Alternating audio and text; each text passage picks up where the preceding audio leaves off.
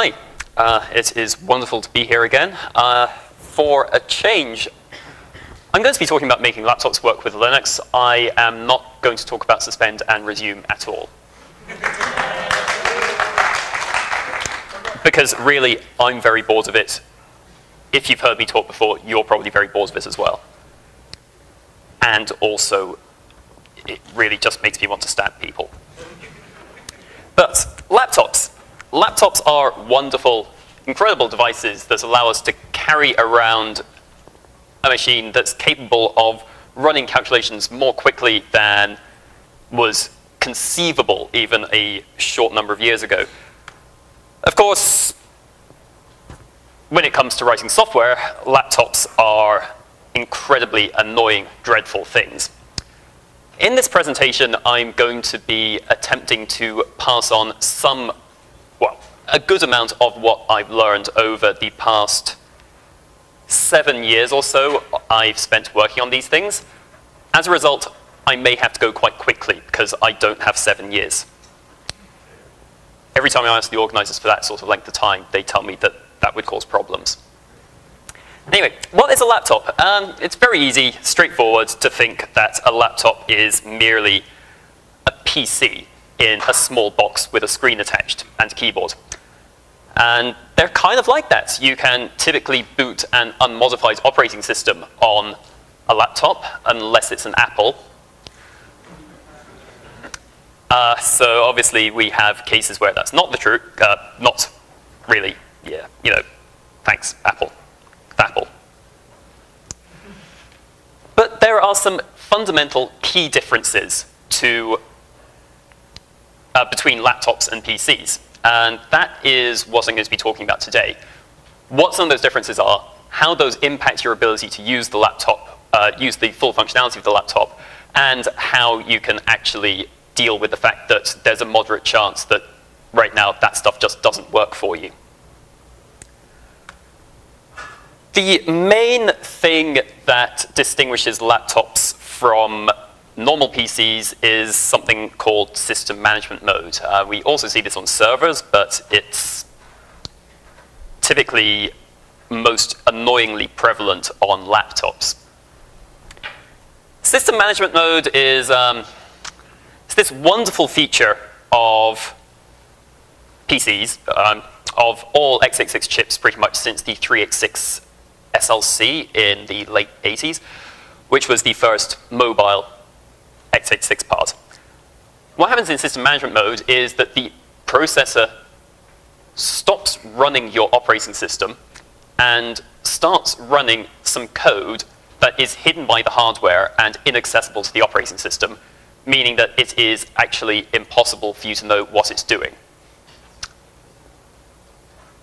This can cause some problems. Well, of course it causes problems. It's software. And software that you can't see is typically worse than software that you can see. So,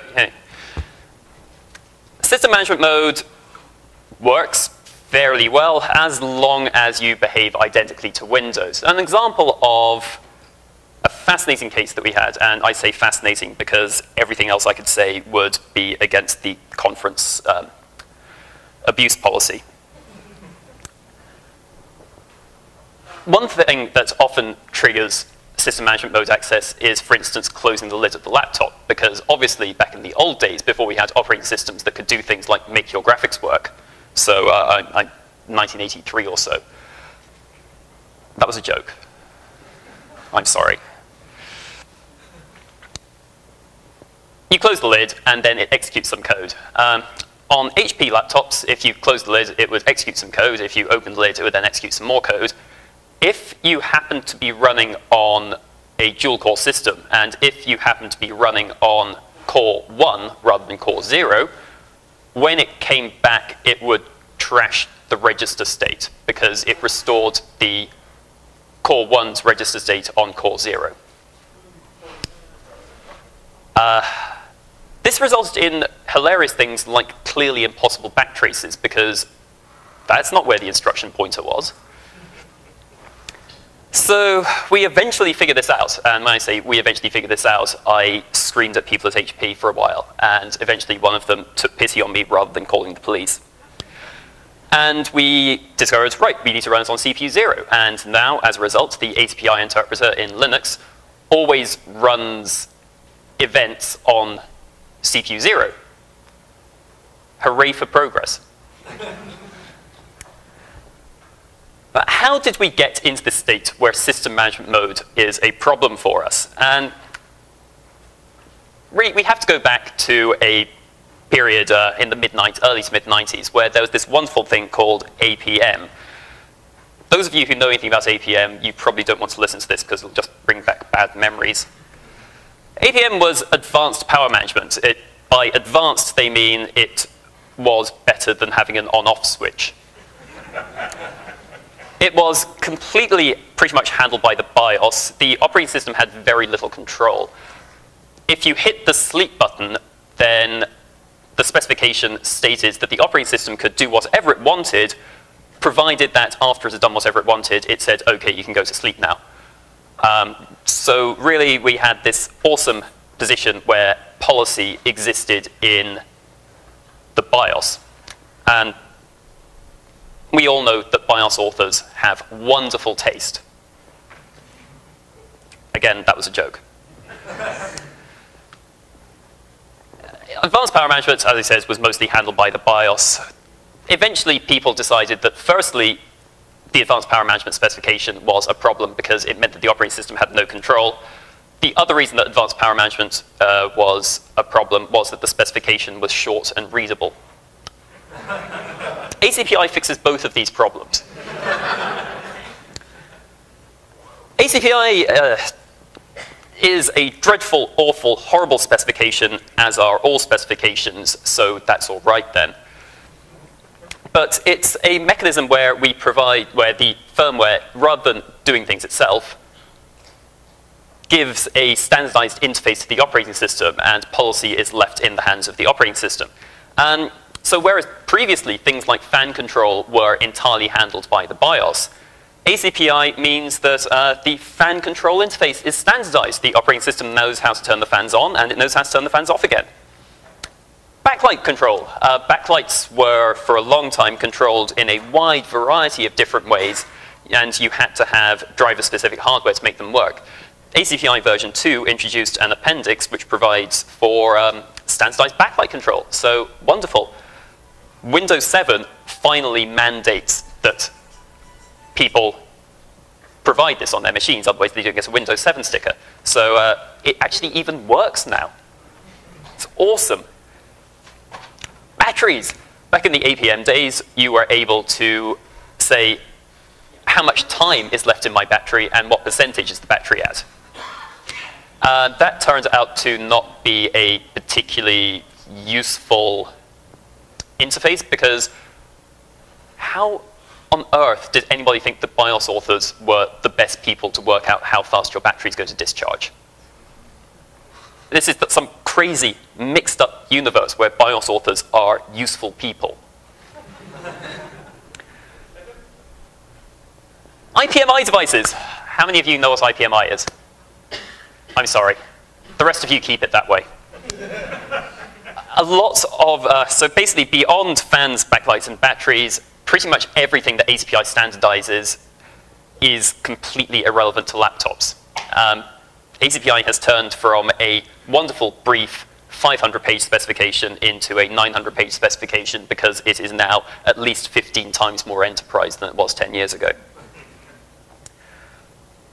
So there's a lot of things that laptops have and that vendors want which are not standardized by ACPI. Uh, things like hotkeys, because it's nice to be able to, actually that's not quite true, the sleep key is standardized by ACPI. Lots of vendors completely ignore that anyway, because why bother with a specification when you can have two standards? Anyway, uh, hotkeys, so things like uh, web browser keys, uh, Hibernate keys are not standardized by the ACPI specification. Controlling the radio, uh, radio control here, I mean controlling the radios as opposed to being able to drive your laptop around from a distance and various small miscellaneous features. On devices which have transflected screens, for instance, there's often an ACPI me uh, mechanism for changing the screen from backlit into transflective mode. There's uh, opportunities for, mm, uh, oh yeah, um, drive protection systems. So if you detect that the laptop has fallen off a cliff, then at least we'll spin the hard drive down before it plummets into the sea at about 150 miles per hour. People have put a lot of this into ACPI, and they've all done it differently. Because laptop vendors are only marginally more competent than BIOS authors. So if you have a laptop, and if you have hotkeys or uh, RF kill controls or uh, you know, any of this functionality, and you want to work out how they're controlled if they don't currently work, there's two common mechanisms. As I said, the first is ACPI, the second is WMI, and I'm going to get to both of these in due course.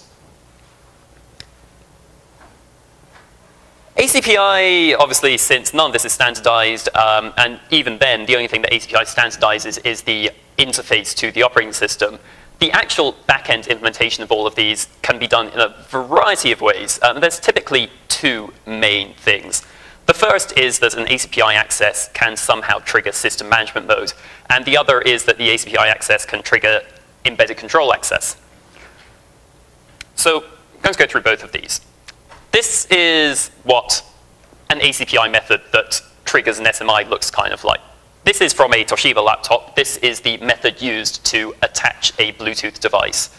Uh, when I say attach, I mean it's internal to the laptop. You need to call this for it to actually appear on the USB bus.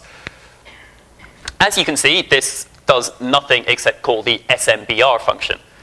Uh, SMBR is not a standardized ACPI function, so let's go through the ACPI tables and try to find out what SMBR does.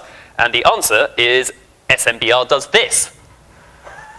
Uh, those of you familiar with x86 will realize that this means that it is um, copying the first four arguments into sections of memory that have names that look awfully like x86 register names. So that's your first warning that something very bad is going to happen now. and then the next thing it does is write to this uh, TRP4, which is actually bizarrely, um, it's uh, a temperature receptor protein in Drosophila. But that's not strictly relevant right now. That's bringing back painful memories. In this case, what that means is uh, it's a trap. A write to that triggers system management mode. Um, the system management code dispatcher in Toshiba, I, at this point, I'm now um, guessing because I can't see the system management mode code because thank you, Intel. Welcome. Really, thank you. So you write there, and then suddenly the operating system stops. If you're lucky, at some point later, the operating system starts again, but you know that's not really guaranteed. Uh, so it traps into system management mode. The system management mode code then reads these things out of memory, puts those into registers, and then jumps to a function based on what these arguments are. Uh, so at that point, presumably, the system management code then does something like attach the USB device internally. Uh, but you know, for all we know, it's also simultaneously uh, DMAing uh, I don't know, uh, DMAing a copy of the 1812 Overture over your file system. Perfectly valid thing for it to do under the ACPI specification. If you see this kind of thing, then you have problems. Um, obviously, as I said, there's no way to really reverse engineer system management code except with some old buggy chipsets where you could flip a register bit and then suddenly, instead of where your graphics memory was, the system management code was. But unfortunately, Intel realized that this was a bug and they told BIOS authors how to fix it. So now you can't do this. Thank you, Intel.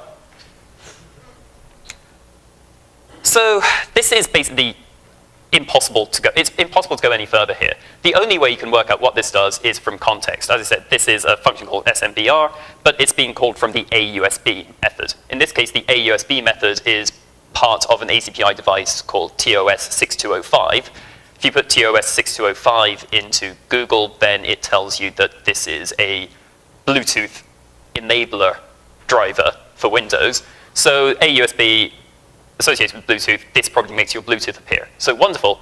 You've worked out what it does without having to care about the system management code. Vendors are thankfully moving away from using this kind of system management code. Um, instead, we're moving generally towards using the embedded controller. This is wonderful because in system management code, the entire machine is stopped. Every processor, if you've got a 48-way system, one of those cores, in fact, core zero for reasons explained earlier, is executing system management code and the others do nothing. If you use uh, the embedded controller, then those other 47 cores can be doing something useful, like polling the embedded controller, waiting for it to start talking to us again. But what is an embedded controller? Um,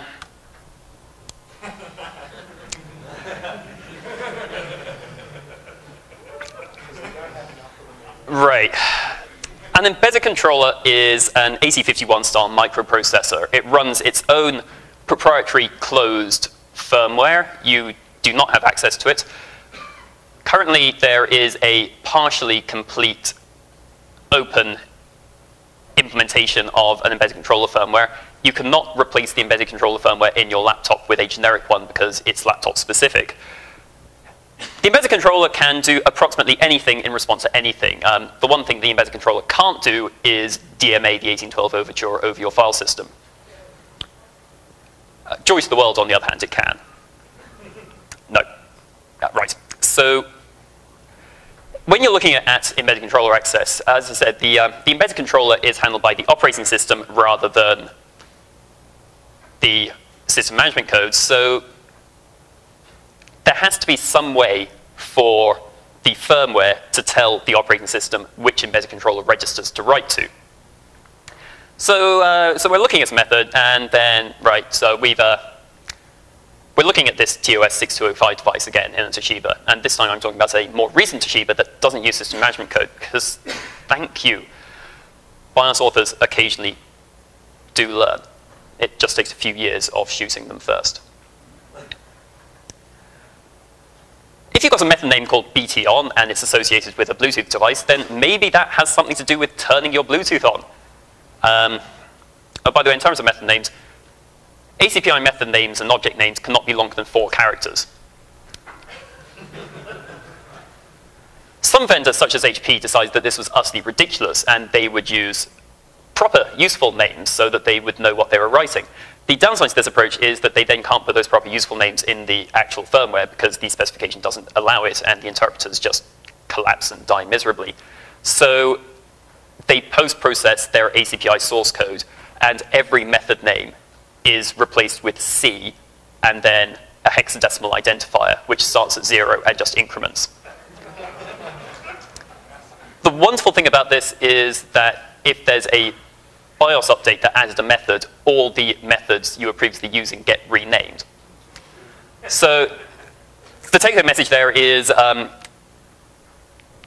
when you're making ACPI calls, you should attempt to identify the proper entry point rather than merely finding a method that works and calling that. If that's called from somewhere else, then you probably should be calling that instead. Anyway, the embedded controller um, may have a register called BTPW, and uh, well, BT, it's probably something to do with Bluetooth on the assumption that your firmware probably doesn't implement BitTorrent. So BTPW maybe something to do with Bluetooth? Right, so uh, we had previously, remember the AUSB method that had the system management call. This is an equivalent where um, rather than calling system management mode, it says store one and then it stores one to that BLTH register in the embedded controller.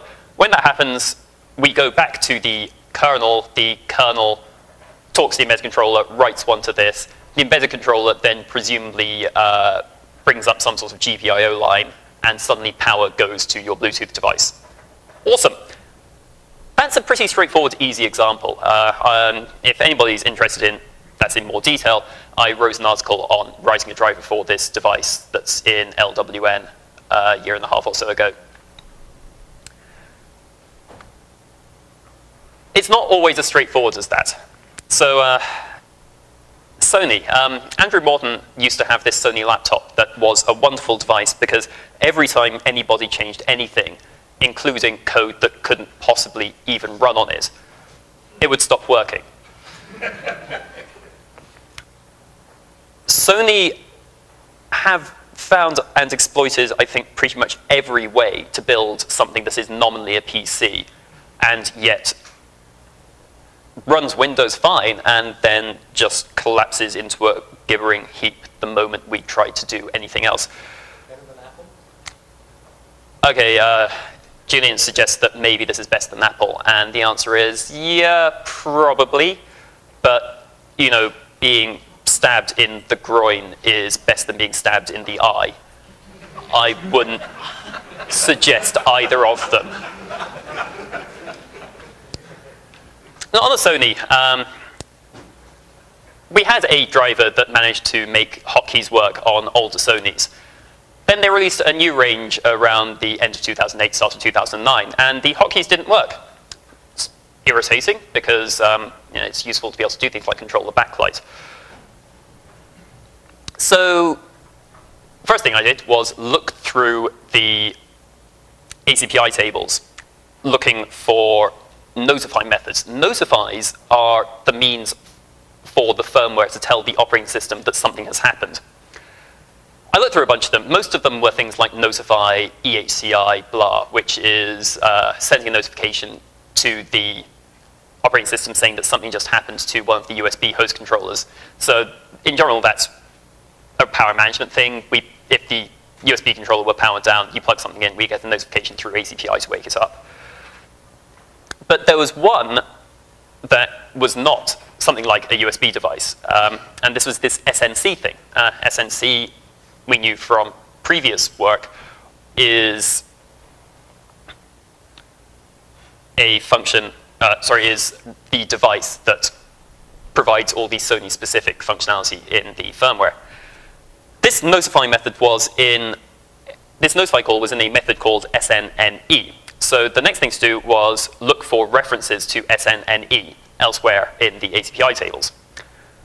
And, uh, well, wonderful. This is nice and straightforward and promising. Uh, Q underscore Q underscore Q indicates that this is an embedded controller interrupt event.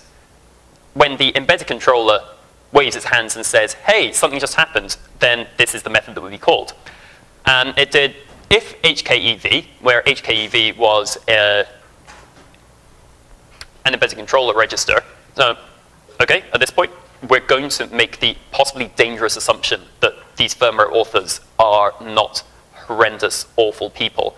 And maybe HKEV means hotkey event, actually turned out to be right in this case, which was awesome.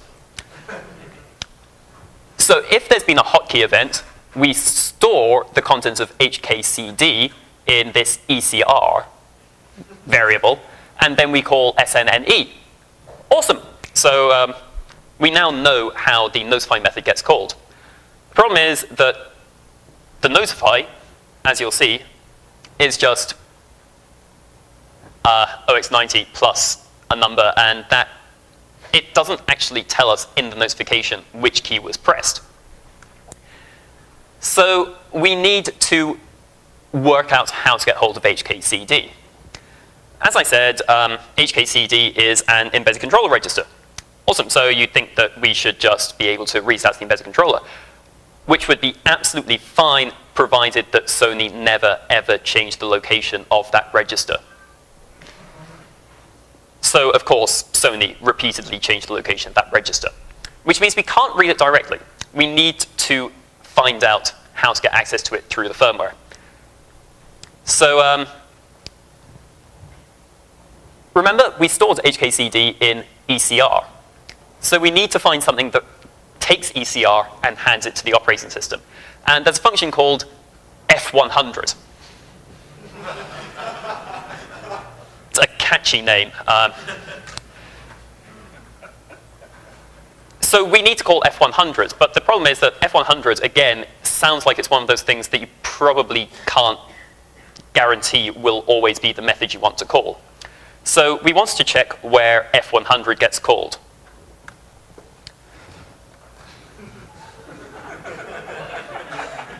At this point, I should emphasize that I was trying to write this driver without actually having one of these laptops.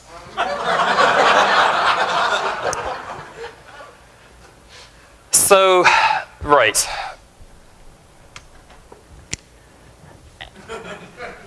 F100 gets called by a method called SNCF.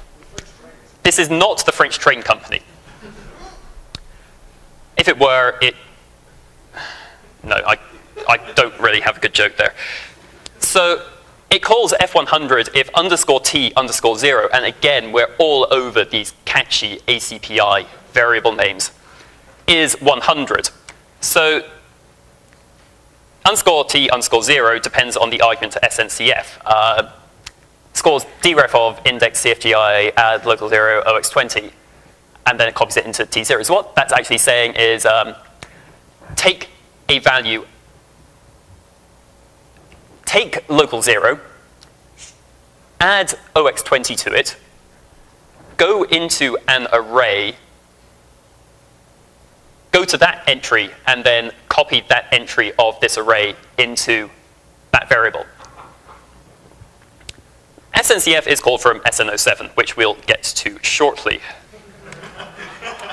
so this is the uh, CFGI thing. Um, as you can see, we have OXO100 there. Great. So we know from that, previously remember I said that we wanted to call SNNE with OX100, so we know now that we need to be getting entry zero from this array in order to have OX100 copied to that variable and then the further function called appropriately. How do we get OX100 from there? So the CFGI thing is copied into a buffer that is OX20 bytes larger than it. It's at the end, so that's why we have that OX20 offset. And uh, so the offset of OX100 is there. So what we now know is that we need to call SN00 with the argument OX20 because OX20 plus 0 will then give us the argument that gives us OX100. You probably don't actually care about this. I'm really sorry. So how do we get the offset of OX100 in the first place? Well, the answer to that is we call SN00, and we call SN00 with arguments going from OX20 to OX30 until it tells us OX100, and that means that we then know the offset that gives us OX100. And finally, we know that we can read the hotkey register.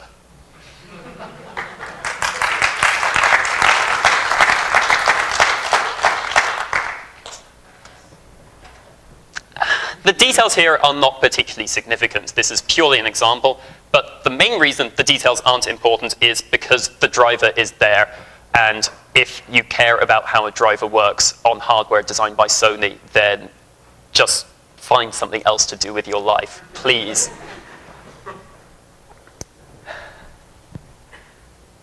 API functions, awesome, right, we know how to do all of that now. Uh, you have now gained all the knowledge required to work out how your laptop delivers hotkey events or does radio control or anything like that, and you can write your own driver. So get on that, except there's a problem. The problem is that the problem here is Microsoft.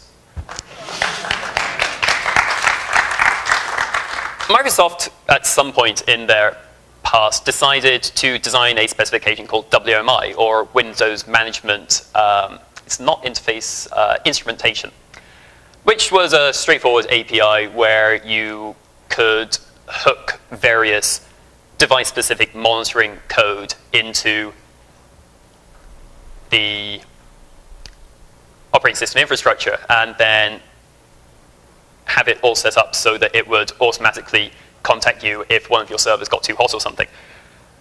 At some later point, they decided that they could integrate this WMI information into the firmware rather than having to uh, add extra codes to Windows.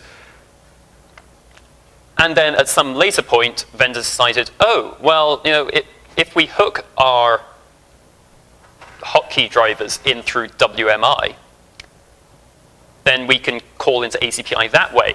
And that's far more straightforward than actually making ACPI calls ourselves. The main problem with WMI is that because there is this extra indirection through the WMI, the details of WMI are unpleasant, horrific, miserable, bad, awful, dire. And there's an article on LWN which tells you how to write a WMI driver. You should read that because if I start talking about it, I'm going to cry. So the problem is more fundamental than that. Um, most hardware is only tested with Windows, so there is the potential that instead of functionality not working, things will just behave a bit oddly. Um, for instance, maybe you try to reboot your computer, and rather than reboot, it hangs. Apple have managed. And most hardware is only tested with Windows, so if it works on Windows and doesn't work on Linux, then that's typically because we're doing something different to Windows. Generally speaking, we try to make the kernel as compatible with Windows as possible when it comes to hardware interaction. And this is not always as easy as it sounds because it turns out that Windows isn't particularly well documented in terms of its hardware interaction. So given that disassembling Windows is uh, something that would probably cause awesome lawsuits in if I, as a Red Hat employee, were to do it and then use what I'd learned to improve Linux. We need to find another way. And that other way is uh, QEMU. QEMU is an x86 emulator. You can run it over KVM and then have virtualization rather than emulating a full processor. But SeaBIOS is the open source BIOS image that it runs. You can edit the ACPI tables in SeaBIOS. You can then hack QEMU to dump useful information, and then you can run Windows within QEMU and see what Windows is doing to the hardware. And when I say profit, uh, unfortunately, so far, this has not resulted in any significant profit. Instead, it has resulted in me developing a taste for fine whiskey. Uh, the life of an open source developer. So, for instance, if we have here, it, in ACPI terms, what this is saying is that there is a system I.O. port at OXB080. It is four bytes wide, and within that region there is something called DBGL as a register, which is 32 bits wide. So if you write to DBGL in the ACPI tables, the contents of that write will go to system I.O. port OXB080. In QEMU, if you then call register IO port write OXB080 for one of those fours is width, the other four is, uh, I don't know, the number after three. And then you have a function that will be called if anything writes to that port. So if we then have, in the ACPI table, if you want to know the contents of a variable at a specific point, you can store that variable in dbgl, and then that will be written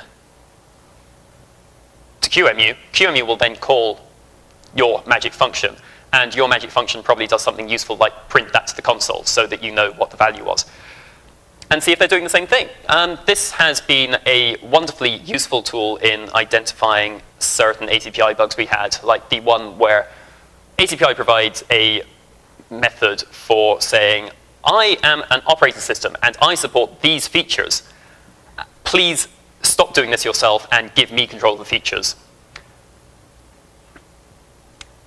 We were calling that once per PCIe root port. Windows called that once per boot. Some systems were doing things like creating objects in that routine. So if you called it multiple times, they tried to create an object which already existed, which is a violation of the ACPI specification. So you got errors and all your PCIe ports stopped working. Turns out the customers complain about that kind of thing. So you boot Windows, you boot Linux. If they don't do the same thing, you change Linux so that it does what Windows does. And then you post a patch, and then somebody says, oh, but this is different to what we're already doing. It might break something. And the answer to that is, yes, it might break something, but the only machines it will break are ones which don't boot Windows, and those machines basically don't exist. So rather than optimizing for machines that don't exist, maybe we should optimize for machines that do exist and then your patch sits there for another three months, and then you repost it, you have the same arguments again, and eventually it might get applied. I need to recap. If you have something like a hotkey that doesn't work, look through your ACPI tables, attempt to find a notify method. If it's then associated with an ACPI device, write a driver. Pretty straightforward. Read my tutorial on that. If it's on a WMI device, read the other tutorial that's on LWN. And uh, yeah, I've written several WMI drivers now. I don't enjoy it. So that's order. If things don't work, try to identify whether Windows and Linux are doing the same thing. If they're not doing the same thing, make Linux do what Windows does. So that is the end of my presentation, and uh, I've even managed to do it almost precisely on time. So we have a few minutes for questions. I would prefer questions to have some at least tenuous relationship to my presentation. But, you know, we'll, we'll see what we can manage. Oh, thanks. Um, Samba got a bit of traction in dealing with Microsoft with specs and stuff. Um, have you guys got any traction there with Microsoft in getting hardware manufacturers to deal with both of you or, or, or something? Uh, right. As far as hardware vendors are concerned right now, Linux is something that you put on big servers which have the word enterprise somewhere in their name that you sell to large customers who probably have, uh, I don't know, Goldman Sachs in their name. And they generally don't have built-in radios or hotkeys. In terms of laptop support, most of what we've been able to deal with so far has been with vendors who do actually sell Linux on devices. And so companies like, uh, wait, it's one of Acer and Ace, I think it's Asus have actually been relatively useful in that. Uh, Novell have been collaborating with a couple of netbook vendors, and we've been getting good driver code out of Novell for that. In general, vendors believe that the secret of how you turn the Wi-Fi cards in their laptop on and off is so amazingly awesome that if they were to release a specification, somebody else might steal their mechanism. Which would be awesome for me, because then we could write one driver instead of 15. but by and large, no, we haven't had a great deal of joy getting stuff out of vendors. The other thing is, nor of Microsoft, really. Uh, most of these drivers are provided by the hardware manufacturer. Windows has a chip with them. That's why if you install, win uh, you install stock Windows rather than the recovery disk on a laptop, a lot of stuff just won't work. So this is changing.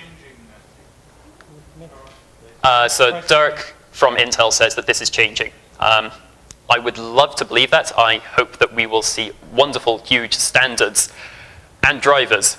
Yes. And we will merge those drivers, and life will be perfect, and then I can stop having to maintain code. No. Uh, God.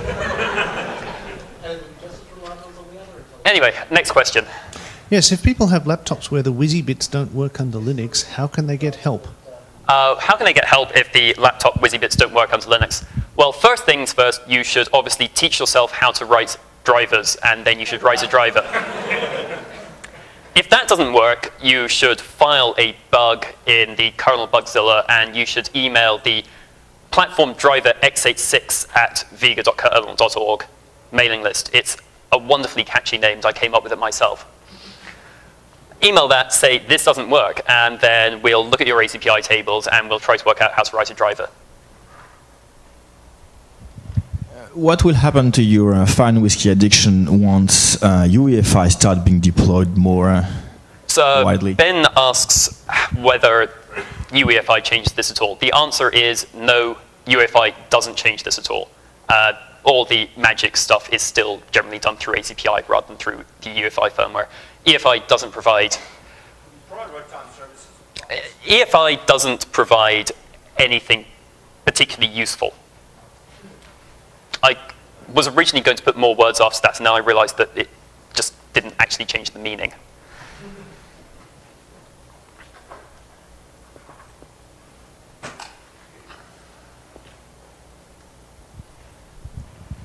Uh, Matthew, you seem to uh, indicate that most of the that sort of uh, firmware level, uh, the symbolic names anyway, left in, in the firmware is pretty in, inane. For what reason do they leave the symbolic names and not strip them in that case? uh, the majority of vendors leave the symbolic names there, I assume, because they wrote the codes with the symbolic names to begin with. Uh, and they could post-process them out, but that would involve BIOS writers doing extra work. And my general baseline assumption is that BIOS authors don't want to do any work at all, so that just wouldn't happen. By the way, is anybody in here a BIOS writer? I should probably have asked that earlier. yeah. So, Matthew, how do you suggest that your average Linux loving hacker goes and buys a, a laptop today? How do you just make the decision? What, how do you get the information about what works, what's completely broken, which vendors are being helpful, which vendors are being recalcitrant? Practically speaking, just buy a ThinkPad. uh, the, as far as I can tell, Lenovo, when they bought the consumer brand stuff, um, kept IBM's firmware authors, and the firmware interface hasn't changed a great deal.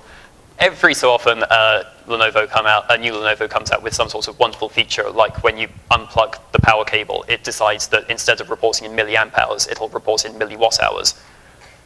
And it'll do that by taking the milliamp hour value and multiplying it by 10 for an 11.8 volt battery. so there is, um, obviously there's vendor insanity there, but usually ThinkPad stuff doesn't change a great deal. It tends to work. I would have said that HP uh, have this sorted relatively well, except I keep hearing the occasional reports that new HPs that I don't have, um, when you try to disable the Wi-Fi, instead make your embedded controller stop working, which I consider a bug. Um, but in terms of working out what the problem there is, I just haven't had the opportunity to reverse engineer it. Somebody was, in fact, writing code to fix this, and that was great, so I didn't do it because they were doing it. And then they emailed me to say that actually uh, they've been told that they were not allowed by legal to release this code. So at some point I'll fix that. Until then, just buy a ThinkPad. It's really going to be easier. In terms of cheap stuff, uh, Dell actually works reasonably well. We have occasional trouble, again, with the radio control, but I think most of that's been worked out now. If you've got a ThinkPad, go to thinkwiki.org, where you will be told various things which may or may not be true or helpful. Or obsolete, or, well, to be fair, uh, really, every time I, a lot of what ThinkWiki provides is working around for Linux bugs and deficiencies. I keep fixing some of those bugs and deficiencies. When I do that, I should really go to ThinkWiki and indicate that this is now fixed. Uh, but I don't do that because, like BIOS writers, I am lazy. Hmm? Uh, yeah, um, yes. Um, which kernel version? Uh, right. So uh, one thing that might I don't think you made really that clear yet is actually how you get the ACPI tables from the BIOS, so you can actually. How do you get the ACPI tables from the BIOS? Uh, you install a package called PM Tools. This is not to be confused with PM Utils. And then you run the ACPI dump command as root. That then copies the tables, dumps them into a file. You then run ACPI extract on those file on that file, and it gives you each individual ACPI table. And then you install the IASL, uh, Intel ACPI source language compiler, and then IASL minus D, and then the file name that will decompile the ACPI table back into something that resembles the original, except with all the comments removed, obviously. This will be our last question. So you've covered off most of the kind of traditional Intel-based platforms running Windows, as you alluded to earlier. Apple does things differently. So what ha- what's additional steps you have to take when you're trying to um, make Linux behave well on Apple's hardware? Right. Apple, I've actually been working on uh, improving Apple support uh, the past couple of weeks. Apparently because I hate life. Apple, the most recent bug that I hit is um, when you start EFI, if you boot via EFI, EFI has uh, this wonderful functionality where rather than trapping into some special mode to call EFI functions, you can in fact just get a function pointer from the EFI tables, and then you just call that. On x86, you have to call it using Windows calling convention.